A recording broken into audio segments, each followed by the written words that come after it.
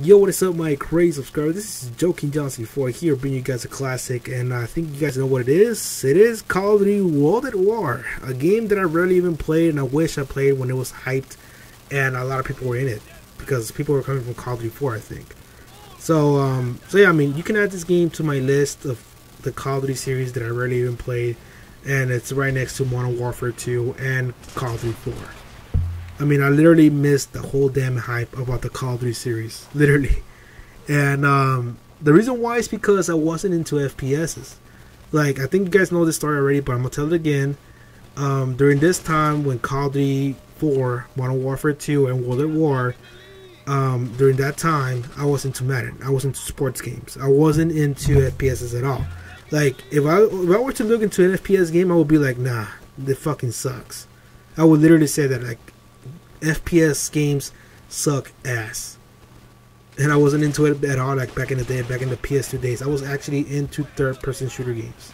Third person. Because it looked pretty good looking at it looked pretty cool looking at your character and shooting at the same time. And you can actually look at your weapon when it's customized and all that stuff. So yeah.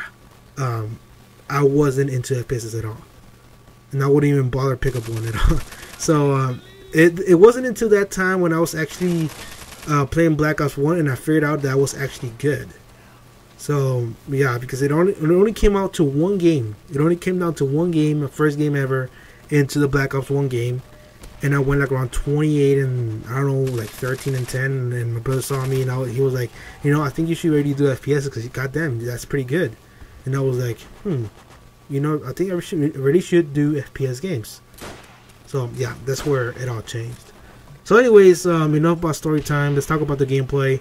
Um, I think I got a little bit desperate because I ended up switching from the Thompson over to a light machine gun, and then from the light machine gun over to the sniper. And yes, I ended up doing some more kills with the sniper than with the Thompson and the light machine gun. Uh, the reason why I switched is because I was getting killed several times from short range, and I was like, God damn it, screw this, because I need more freaking moderations, I need more attachments for these other guns because if I don't have good those attachments, I'm never gonna do good. So I was like, screw that, you know. And also, I, was using the default weapons.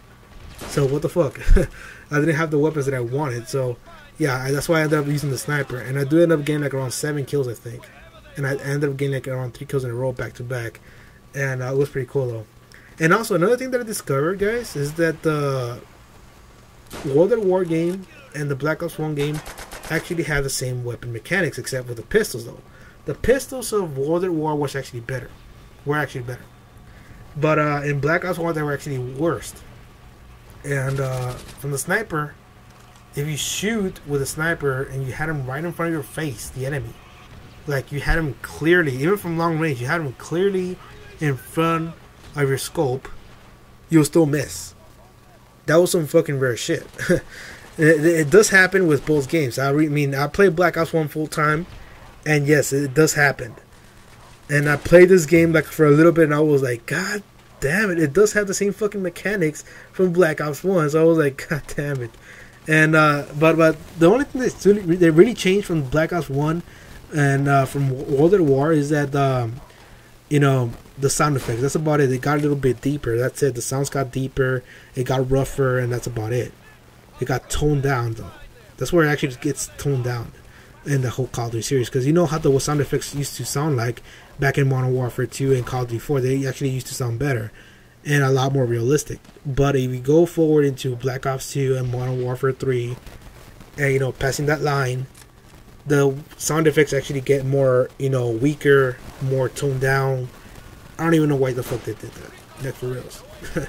so, uh, anyways, um, yeah, I ended up getting like a lot of kills with sniper. I really don't, won't complain at all. Actually, I think my final score in this game was uh, was like around 10 and 13. I don't really mind because this game's already done. I mean, I, I don't really need to prove myself or anything. I'm just messing around with a sniper and with a pistol, which is actually pretty good. It's pretty goddamn accurate. Like you see, I had him right in front of my face and he didn't die. If you would have done that in Black Ops 2, you would have actually gotten the kill. Actually, you can get a, a, a, quick scope kill like like nothing in Black Ops 2. That's the truth. That's fact, guys. That's a freaking fact. Anybody can quick scope in Black Ops 2. So, anyways, guys, um, in the future, I'm thinking of putting up classic Call of Duty games on Thursdays only.